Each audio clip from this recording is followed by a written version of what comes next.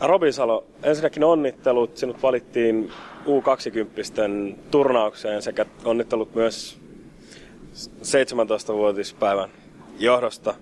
Ensimmäinen kysymys, millä tulit hallille tänään? Tulin tänään mopolla kyllä hallille, että, että ihan perus vaan kävi kokeilemassa mopolla tänään. Että usein on kyllä pyöräily, mutta tänään tuli mopolla sitten.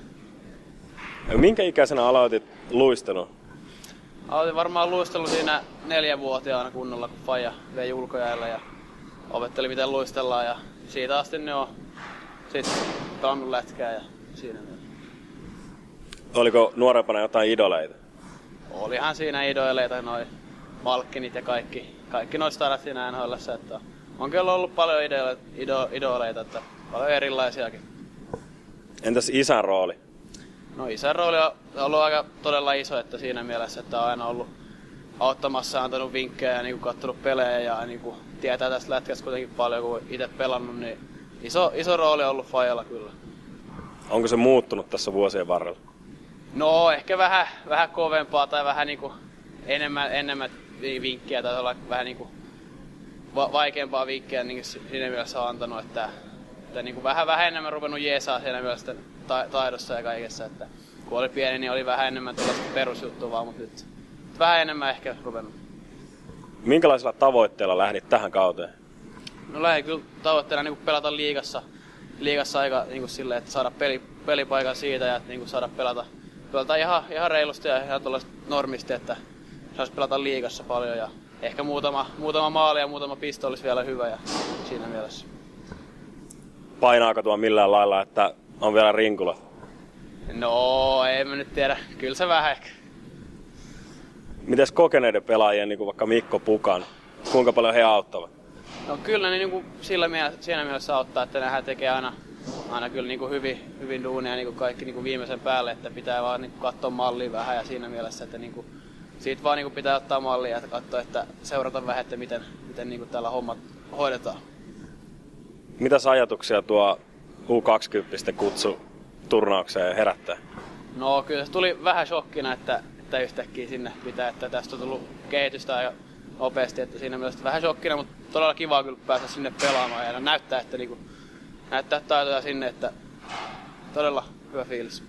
Onko maajoukkojen suhteen fokus kuitenkin tuolla ehkä 18-vuotiaiden kisoissa? Joo, kyllä mä sanoin, että enemmän siellä, että nyt, pääs, nyt saa vähän kokemusta siitä nyt tämä seuraava turnaus, mutta kuitenkin, että U12 on kuitenkin se varmaan se, missä tuu pelaa enemmän ja siinä mielessä kisoihin lähden tavoittelemaan. Sportista valittiin viisi pelaajaa nuorten maajoukkoisiin. Mistä se kertoo? No, että täällä on ehkä ruvennut tekemään tämä organisaatio vähän paremmin ja sitten, että, että niin kuin on mennyt kyllä todella hyvin nyt ja on ollut sielläkin pelaa, että todella hyvä jengi ja hyvä joukkuepeli ja siinä mielessä, että tulee uusia peliä, pelaajia esiin ja siinä mielessä, että todella kiva nähdä, että tulee enemmän pelaajia maajoukkoja. Muut saivat tuossa vapaa viikonlopun. Sinä lähdit ajunnojen mukaan. Onko se näin, että pelaamalla kehittyy? Kyllä se on näin, että aina on kiva pelata ja sillä kehittyy, niin jos on paikka lähteä pelaamaan, niin totta kai aina kiva. Mitä sanot näistä olosuhteista? Sinä olet saanut koko nuoruutesi vetää tässä uudessa hallissa. Ennen oli kuplat ja muut. Olosuhteet ovat nyt kunnossa. Joo, kyllä ne on kunnossa. Olen siihen tyytyväinen, että on tämä aina ollut hyvä halli. Tällä viikolla Sportilla kolme ottelua vielä ennen tuota maajoukkuetaukoa. Ensimmäisenä vastassa Kalpa, mitä ajatuksia herättää? No kyllä, kova jengi, kova jengi, kova taistelu. Viime, viime peli oli kyllä tiukka, että varmaan tulee tiukka peli tässä kotiluolassa, että siihen pitää taistella toivottavasti. Saadaan muutama voitto tähän ennen, lähteä, ennen kuin lähdetään sinne turnaukseen. Entäs tämä Kaakkois-Suomen reissu? Siellä on kaksi kovaa peliä kanssa tulossa KK ja Saipa. Joo, kyllä. Todella, todella tiukka varmaan nekin. Ja Saipa, Saipa pitkä, pitkä matka sinne ja sinne pitää olla niin kuin hereillä. Ja, ja toivottavasti siitä saa hyvä fiiliksi se voitto kotiin ja sillä mielellä niin kuin sit sinne turnaukseen.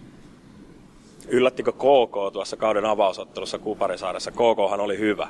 Joo, kyllä ne vähän yllättää, ne on yllättänyt koko ajan. Että ne on, ne onkin niin kova jengi, jotenkin pelaa, pelaa todella hyvin ja siinä mielessä, että niin kuin pitää kyllä niin kuin olla varovainen siinä mielessä, että niin kuin olla hereillä ja niin kuin koko ajan tulee kova, että vaikka pelata hyvin silloin.